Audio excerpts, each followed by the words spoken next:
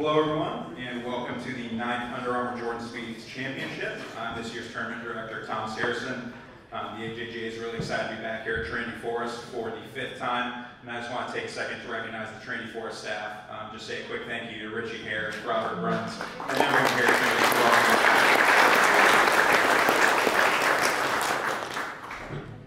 And thank you to everyone for coming out to our Q&A today with our tournament host, Jordan Spieth.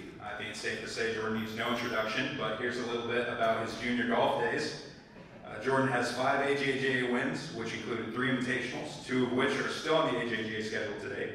Jordan was a three-time first-team Rolex Junior All-American, entered Rolex Junior Player of the Year honors in 2009 before attending the University of Texas at Austin, where he helped the Longhorns win the 2012 National Championship. He also won the U.S. Junior Amateur twice and completed, competed in the Canon Cup, now the Wyndham Cup for the West team. On the PGA Tour, Jordan has won 13 titles, including most recently the RBC Heritage in April. So I want everyone to give a big round of applause to our tournament host, Jordan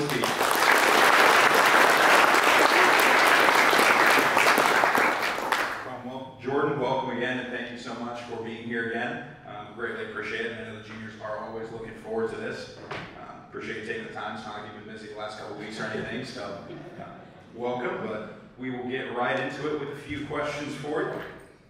So, Jordan, what was one thing you did to set your, yourself apart in junior golf? Well, I think um, so. I grew up, you know, not too far from here, just in North Dallas, and Farmers Branch is where I played some junior golf. And there, as I'm sure a lot of y'all have, um, where you live right now, we had a lot of juniors at, at the course I grew up at. So I just made friends there, and I just tried to get really. I'm, I'm a very competitive person, and we just tried to play all the time.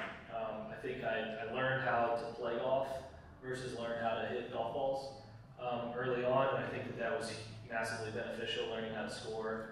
Um, you know, they, most of the guys I was playing with were a little bit older than me, and uh, so I would go out there and you know try and get to their level and then pass them and so on and so forth. And I think I was lucky to have that kind of competition day to day. And then I got introduced to the AJGA and started with the Junior All Stars back then, which was I think what was it, 12 to 15 year old age group, and um, and then moved on to regular events from there, and eventually the invitationals, and um, and that's obviously where the most exposure comes for colleges and such. But to answer your question about what did I do, I mean, I, I really think it was just learning how to play and score. Um, I would go to the range when I went through swing changes early on when I was like 13 years old and switched to the coach I have now. Um, and other after that, you know, I think I spent six months mainly on the range, and then once that kind of got to a place where I could get to playing, I was back to just playing as, as, as often as possible. And there's just no substitute for it, right? I mean, you go to the range, and obviously every tee shot you hit is similar to a range on a flat lie, um, including par threes, but there's not one other shot that's like a range um, shot. So I, just as beneficial as it can be at times, I think that when I'm at my best, I'm playing a lot of Um, all right, Jordan, we actually had a hole in one out there on the course today, but Five under on the par threes today. yeah. we have, we out here. Do You stand up for us. Not here. Doctor's appointment. Doctor's appointment. That's on us. to go rest, rest on the week. He's missing out on this. He's gonna be in for a rude awakening when he watches these. He's getting drug tested. Uh, but Jordan, can you tell us about your first hole in one and the story behind that? Uh, my first hole in one, I was 16. Um, I was playing a practice round for the U.S. Amateur. The U.S. Amateur was at Southern Hills, and it was actually the other course, the U.S. Am. You know, they play multiple courses normally in play.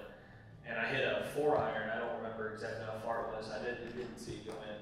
It was blind. I walked up. I hit multiple shots. It was the first shot I hit, and then I, you know, practiced maybe another shot to another pin. And I walked up and and it was in. So I counted it obviously. It was my first shot on par three, and I was just going in the pin. So, um, but it kind of went over. I didn't see it go in, and then some time passed between that and my next one, and then I had a few in bunches here and there, and that's kind of how it's kind of how it works. I think is you might have, and I, if I'm not mistaken, um, he even made the whole one today. Also had one yesterday. Is that right? So Yeah. that's uh, there you go. Um, so sometimes they come in bunches, and whole ones are, you know, whatever, ninety percent skill, but you still need the ten percent luck of it actually finding the bottom of the cup. But um, certainly fun. They very helpful in tournament play. They mean a lot more than they do those practice rounds of US Amateurs. Does your training uh, schedule or preparation for events change based on the time of year, the point in the schedule, uh, like the weeks leading up to a major, the weeks leading up to the FedEx Cup? Yeah, um, pretty much everything changes. Not only um, like training, like gym training, but also the amount of ball count that I'm on, um, kind of where I'm playing, uh, how many tournaments I'm playing leading in.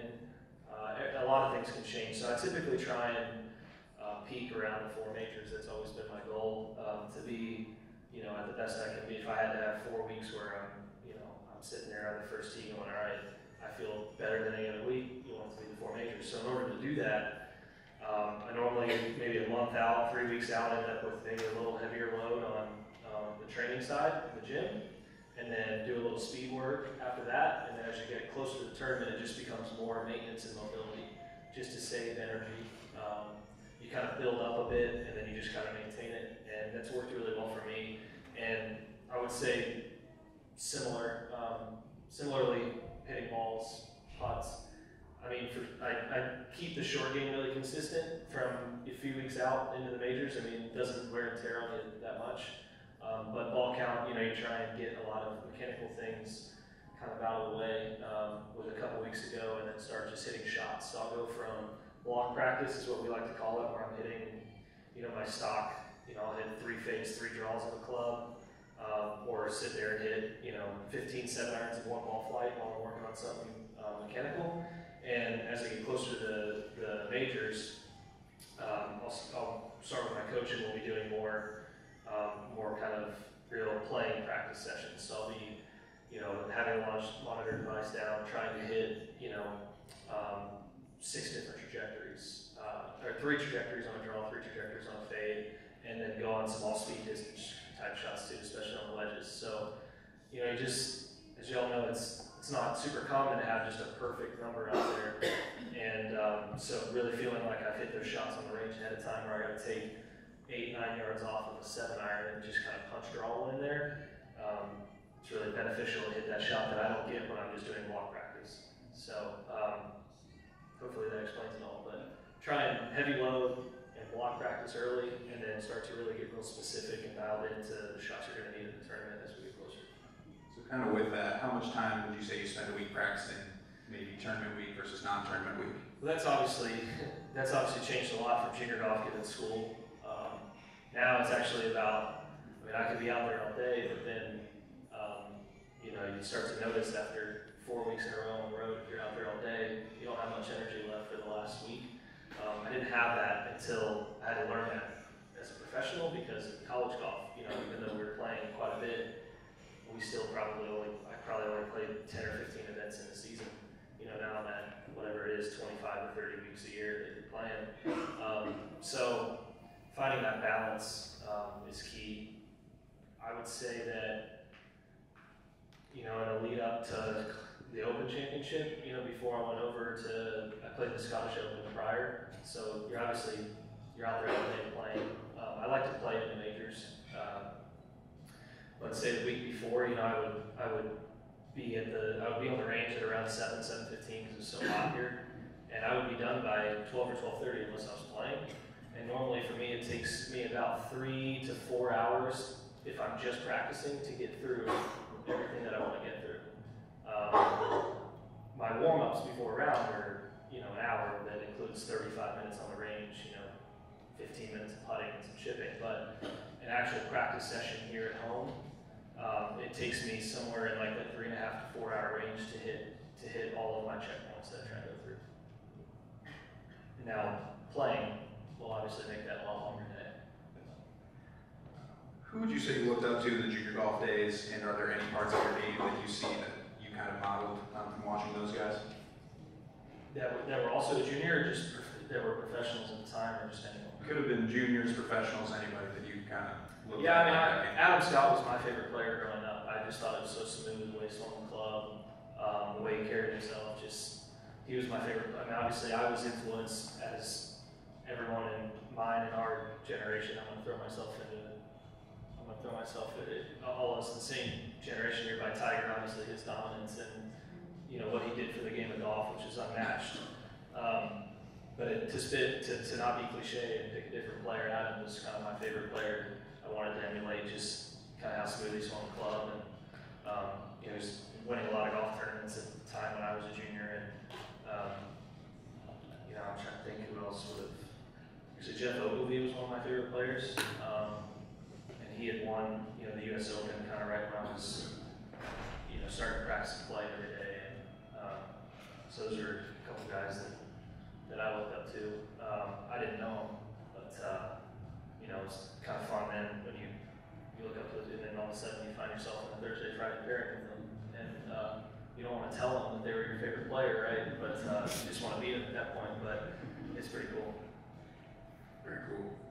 So you won a lot of trophies in the junior golf days. Are there any that you still have? And if so, do they have a spot among those 13 tour trophies? Yeah, yeah. I um, the Ping Invitational with the cowboy hat. Um, that was always a, a super cool trophy. The U.S. Junior, um, that one being probably the most recognizable of junior golf tournaments. Um, but yeah, I I think I've held on to just about every single one um, somewhere. Uh, I mean, I've got a lot of them. I've got an office area that has you know trophies professionally and and the junior ones, so a lot of them are in there. Um, but uh, those are probably the two that I, I recognize if I walk in the room, yeah. So Jordan, you've competed in many team events over the years uh, with the Wyndham Cup, Mechanic Cup, Ryder Cup, and the President's Cup. What makes those events special, and why was it always a goal of yours to make those teams? Well, I, I mean, it's just, it's different, right? It's a change of pace. And it's the same game, it's the same people, but I love team sports. And to feel like you're a part of a team um, in those events representing whether it was your half of the United States or your country, uh, you know, Walker Cup, um, obviously the Canon Cup, but then uh, the Junior Ryder Cup, the Walker Cup, and then eventually the President's and Ryder Cup. It's more, um, it's exciting because you can show more of your personality and get fired up on the golf course that would be kind of awkward if you did that week to week every single round.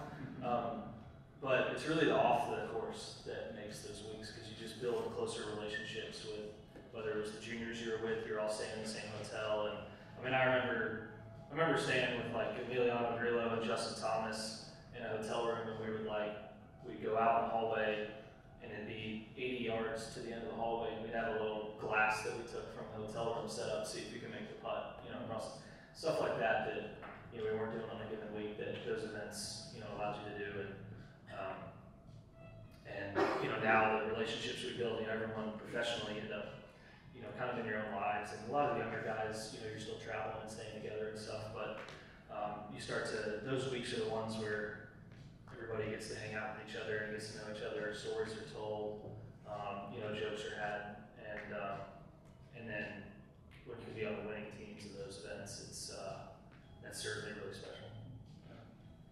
And, uh, we all just want to say on behalf of the AJGA, congrats on becoming a father since the last time we saw you. Uh, first, how has that changed your golf game, uh, if any? And then secondly, can you picture yourself being a junior golf parent here in the future? I actually have. I think uh, I I got from the AJGA his name and uh, whatever maybe graduating year would be. It's like I don't know what what years around. 2040 I think would be his graduating year, um, which is kind of funny. Um, I don't I haven't noticed. In, I, I don't change in my golf game.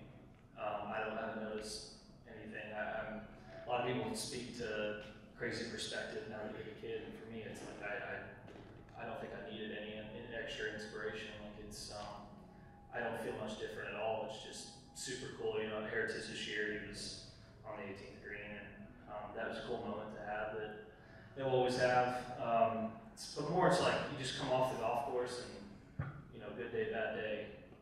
He doesn't care. Um, he doesn't know, and um, it's kind of makes it makes you kick back into perspective a little bit quicker than sometimes we kind of make it out to be.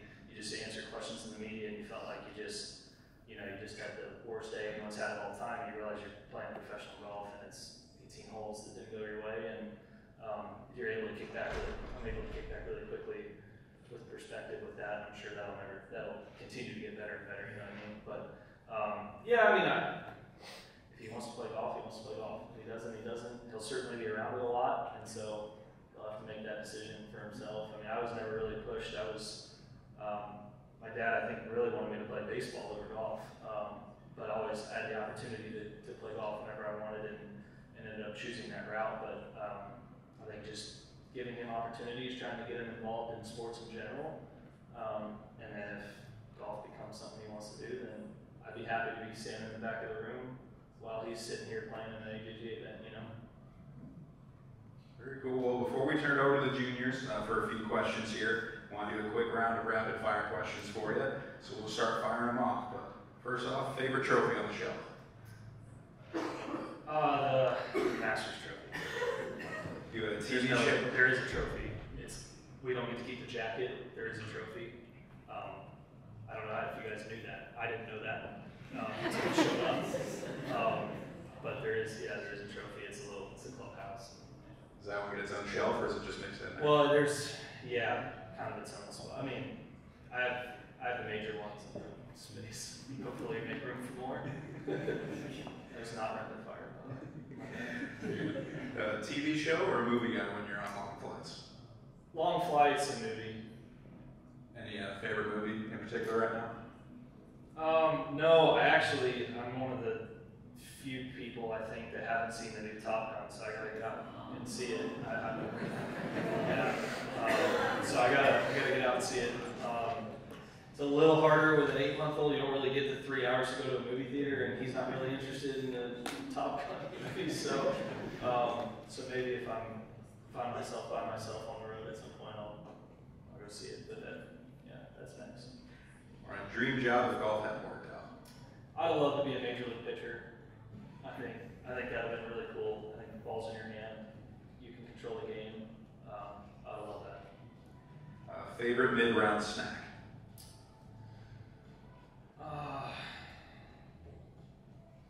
I nowadays I actually a lot of times eat a peanut butter and banana sandwich.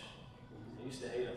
Um, now that's what I end up having. I think if I had to choose, I'd choose like a Reese's, but a lot of times the former makes a little more sense for us to try and actually um, get the right energy.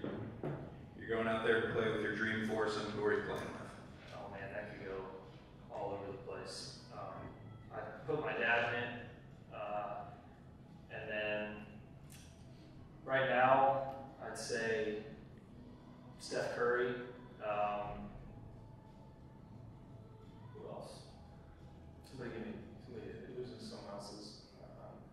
Living or doesn't matter. Could be anyone. It changes all the time. Um, I don't know. I can't think of the four to be honest with you. Well, last one for you. Your favorite course you played in the last two weeks? Uh, yeah, I go of course to St. Andrews, but um, there's a lot of good ones over there. I love golf over there. The old course is the best that I've played in the last two weeks. Well, great. Well, I think we will go ahead and open it up to the floor for some questions from our juniors. Um, if you'll just raise your hand, and we'll come around the microphone for you.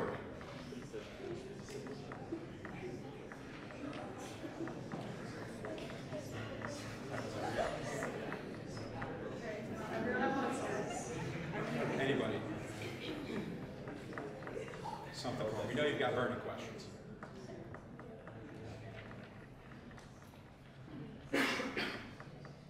Um, what's your best advice for playing college golf as a freshman? It's a good question. Um, I would say try to, for me, I had Dylan Frittelli on my team. He's on the PGA Tour now, South African. He was a senior.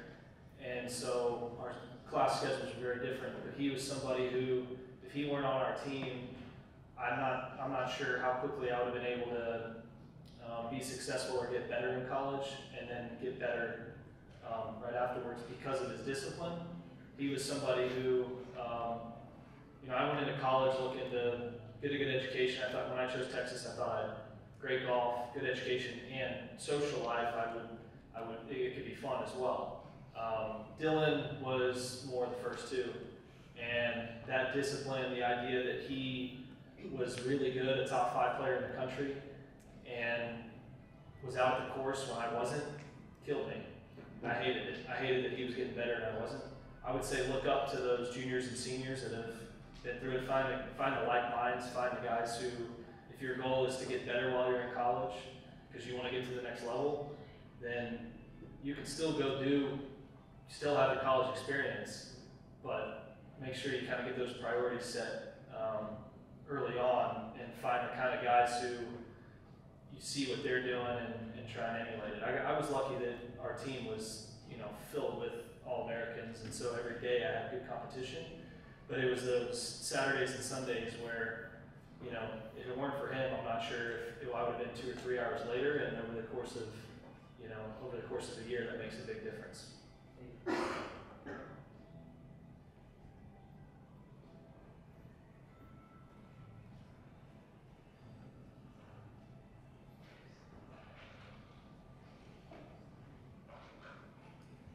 When you're playing bad, like, how do you get refocused? Uh, I typically let it all out at some point.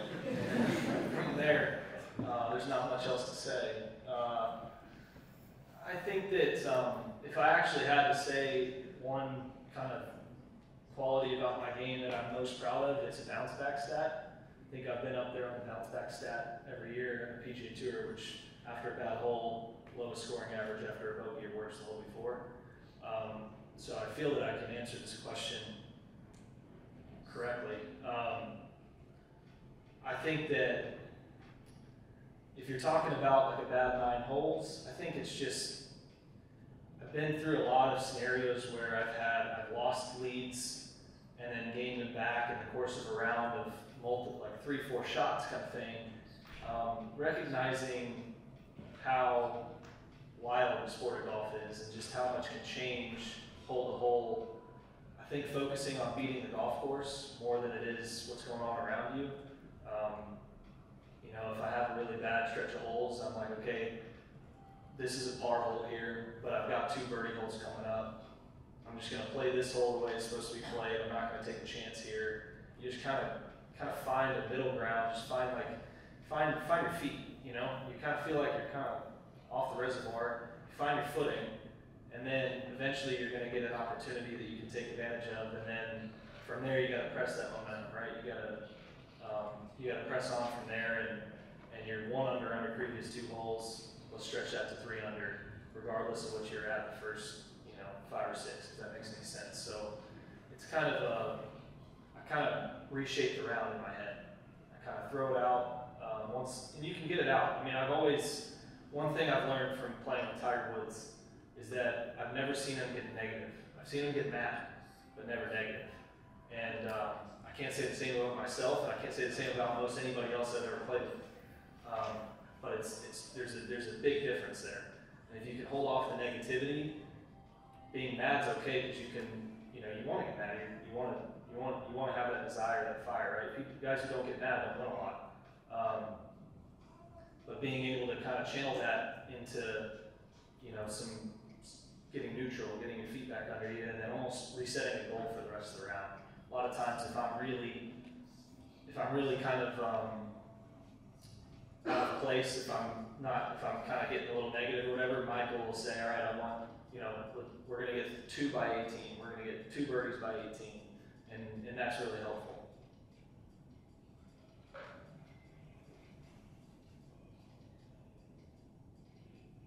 Anyone else? What's, what's the best shot you hit on tour? Best shot. Um, best shot that I've ever hit on tour. I would say one of them would be I, I, I hit a six iron on the 14th hole of the, the Open Championship. Um, I had a debacle on the 13th hole the year that I won and, and made a bogey. Um, and I lost the lead that I had the whole day. And the Cooch had kind of hit one out where he was going to make par on 14, and I hit a six. I was 201 to the hole. Pins in this tiny little back section. You can't really miss right or left if you're going to go at it.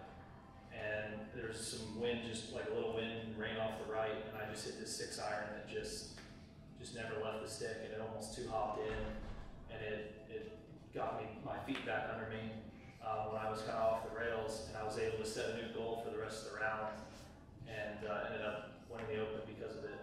Um, it was probably that's the one off the top of my head I think of as far as a shot.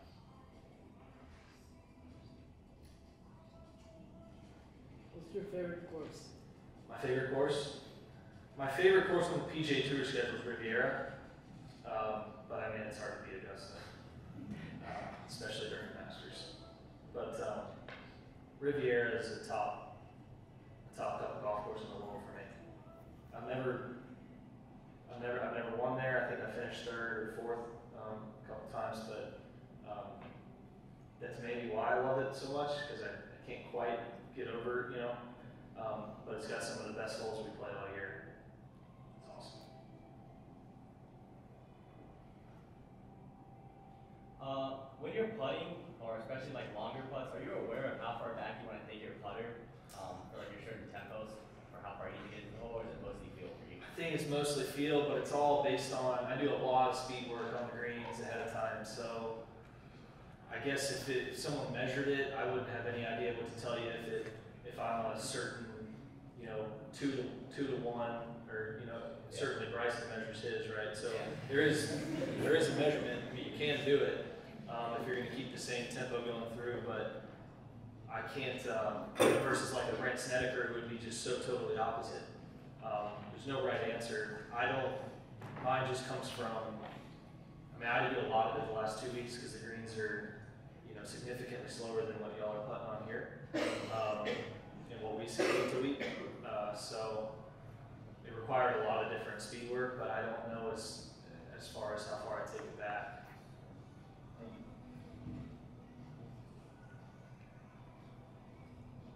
You said prior uh, tournament uh, rounds and tournament weeks, we like to play instead of doing block practice. Do you play like trying to score or like putting different scenarios based on the course you're gonna play? I, I try and get in. I try and get in games. I try and get in competitive rounds um, to score where you have three, four footers that mean something, um, eight footers to win a hole. Stuff where if, if I'm playing two balls on my own, I can't stand playing by myself. Sometimes you have to. Um, sometimes you don't need to be on the range anymore. You go out there and I'll play play the game worst ball, where you hit two shots everywhere. You got to play the worst one, see how low you can score. I wouldn't do a ton of that. I do that like periodically because scoring is when you're out there, even if you're playing on your own and you get to three, four, five under through 9, 10, 11, 12 holes, that's beneficial. So I'm not, but the worst ball kind of makes you really focus on how can I better that previous shot. Um, but as far as leading up, you know, I'll get normally, um, say if I'm, so if I'm going to play in Memphis in a few weeks, uh, you know, I'll be practicing, you know, quite a bit, but say I only have one week off. The Wednesday before, I'll come see my coach. Uh, we'll work, we'll just work for a couple hours. We'll do checkpoints on putting, checkpoints on swing. I'll probably go practice the next day, come back and see him again, and probably play that day. And then I'll play through the weekend into when I get there.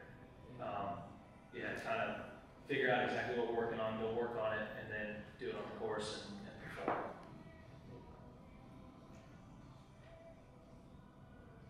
Anyone else have any questions for Jordan? So this treated course is more of an American than stock course. You just gave the field course. How do you think that an American style differs from both courses? Certainly some similarities to length of putts you have, different shots you can play around the greens. I've never played a course in the U.S. that plays like a links course over there, though. It's really just the grass types. It's the fescue with the firm ground, um, where there's not much difference in the firmness from fairway to green. It's just almost impossible to do with the weather we have in the states. But um, there are a lot of similarities in the bunker shots. The, again, the lag putting, length of putting. It's harder. Mean, here when it's windy on the speed of these greens than it is over there. You have more humps and weird stuff over there, but um, but it can be harder to putt here. Uh, but uh, I, you know, other than the other than the shots on and around the greens, um, still plays more from the. It's still more beneficial to fly shots to the hole here. Over there, if you're downwind, you can't you can't fly it anywhere near the hole um, it's not going to stop.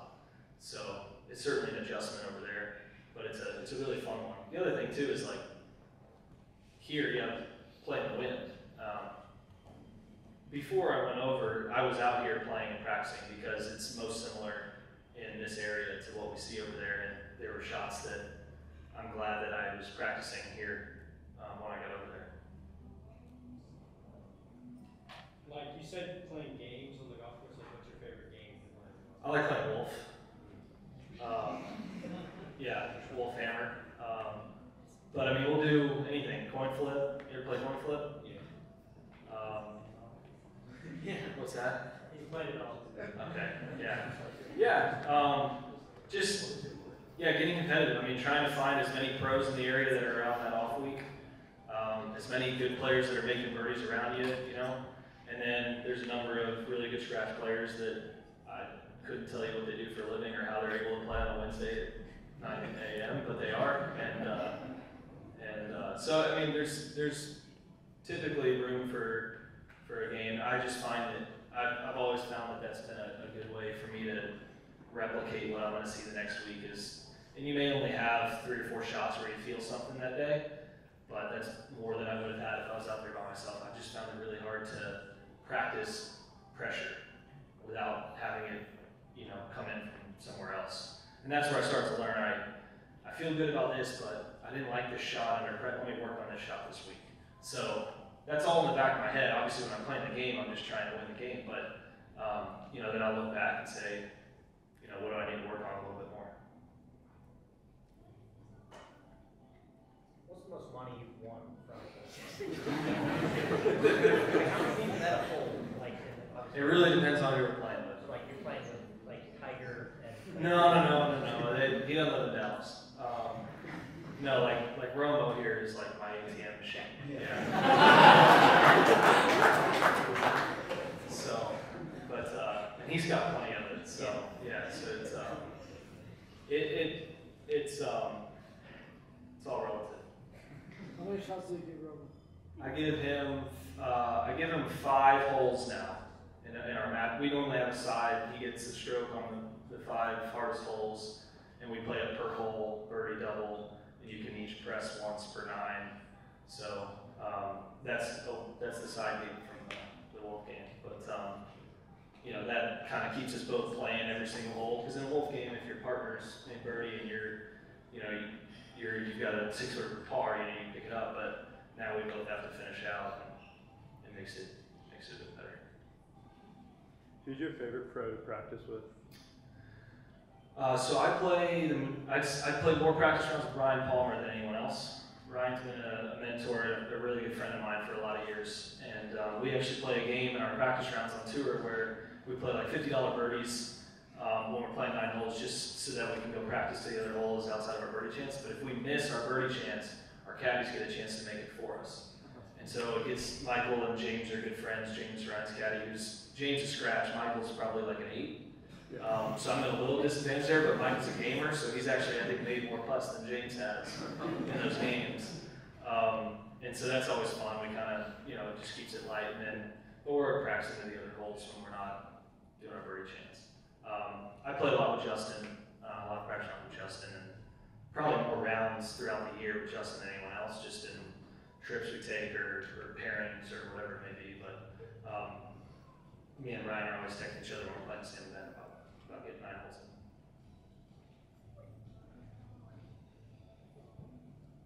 After a long tournament round, what's your recovery process like? Yeah, that's a that's a good question. That's something I've really tried to um, hone into the last couple years. Uh, so we all pretty much use a physio, um, like a chiropractor or physio. So I'll get work done after tournament rounds. Um, normally a flush, um, get your back flushed out, that kind of stuff.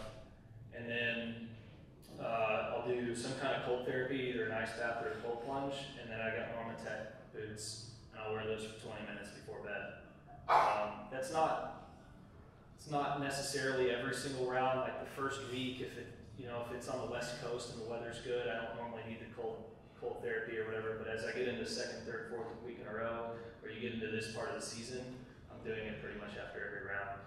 Um, it's stuff that I've read. You know, I read Tom Brady's book, um, and then I've been fortunate through Under Armour to have some relationships with other guys. I've, I've asked Steph Curry, who's probably the most active NBA player off the ball. Um, I mean, I just like, you got to be. I mean, he's 30. What is he now? 33 or four. he's got to be just gassed at the end of these games. So I'm trying to pick his brain, and find out what he's doing, and um, you know, I'm 28. Uh,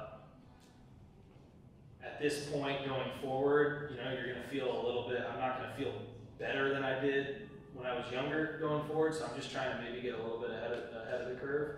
I don't necessarily feel that, you know, I don't feel totally worn out after rounds at all. Um, but more so, you know, golf's a sport about longevity, and I want to play it for a long time at the highest level that I can. So I'm trying to pick the brains of these guys in these other sports that are more active and figuring out what's working for them. And in, in the TB12 method book, Tom started when he was about my age, is when he started changing up his whole kind of training routine and everything, and he's still one of the best at, and the, at the oldest age that quarterbacks ever played. So um, I feel that that's probably a good way to start. All right, guys, I think we got time for two more questions. Anyone have anything? Uh, what's the next spring break trip?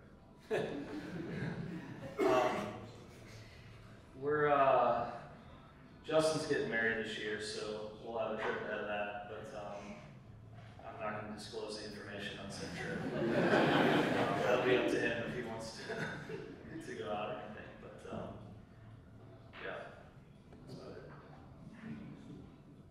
Anyone else? One more question?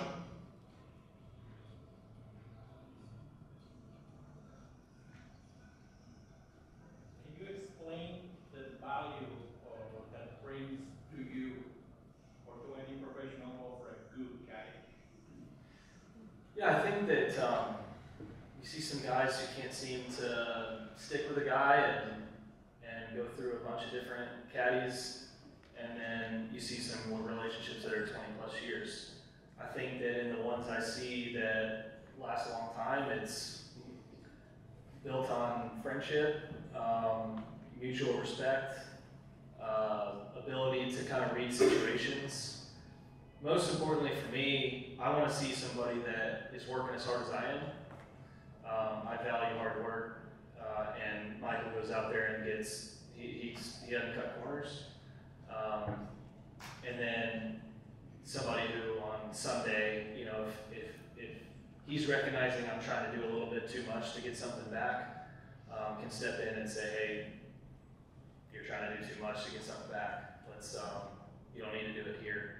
You know, you got these holes to do it at, something like that, where, you know, I, I've never seen a flag I didn't like, and that gets me in trouble a lot, but it also, you know, has done a lot of good. Um, but situationally, figuring out where those red flags are um, is what you're looking for in guy. And um, a lot of times that's built up over time and experiences together. So it's not that easy right away. Um, and it wasn't that way for us right away. It was built up over three, four years before we were both like, yeah, we understand when these are happening. And a lot of one-on-ones, two, three times a year, we'll sit down and be like, this is where we're at. Let's improve in this area. Let's, you know, so um, I would say, you know, I, I value his opinion when the stakes are at the highest, and most important, as important um, as that, I also recognize that when I start on Thursday, if I ask him a question, he has that information, and there's a lot of information to have, you know. So he's, he, you got to go out there. You can't just ask one of your buddies who may have done the back nine the day before for the numbers. Like he goes out and does it all. Well, Jordan, thank you very much for taking the time, and thank you for continuing to support the tournament and the AJGA um, and junior golf as a whole. So if everybody, could we just give one more round of applause?